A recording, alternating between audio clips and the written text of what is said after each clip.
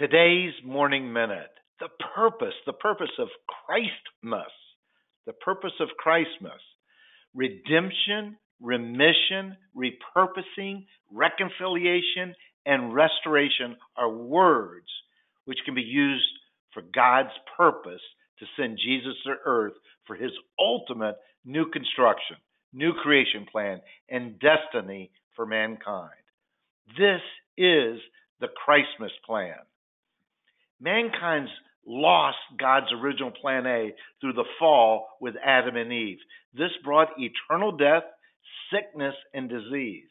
This brought the satanic rule and reign as the prince of this world. Man is operating on plan B, which is not God's purpose for man. God sent his son to restore, redeem, repurpose, and reconcile all mankind. For those who receive him as their Lord back to the original plan A, the original plan is life, life abundantly in forever fellowship in right relationship with God. God's new creation plan is to restore and redeem that which was lost through the high treason of Adam at the fall. God made us, us, the righteousness of God in Christ Jesus, so that we can enter, enter into his presence. We have restoration, reconciliation, redemption to the plan A, to plan A, the new creation, based upon what Jesus Christ did, not on anything we have done.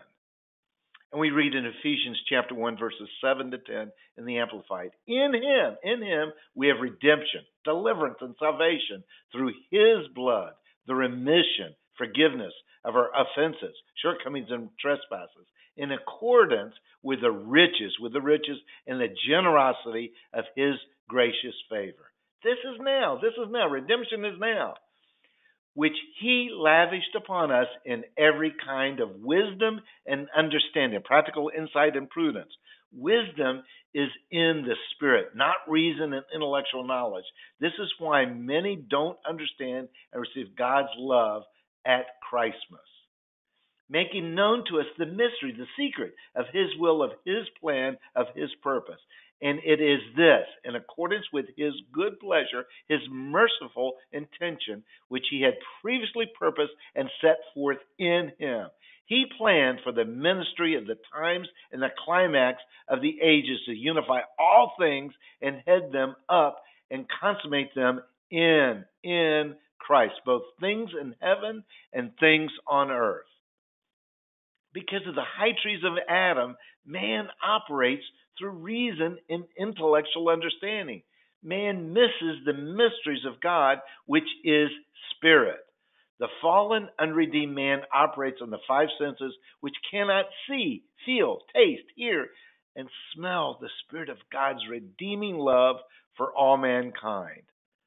Life begins with Christmas. Life is Christmas. God's redemption plan is in Christmas. Amen and amen.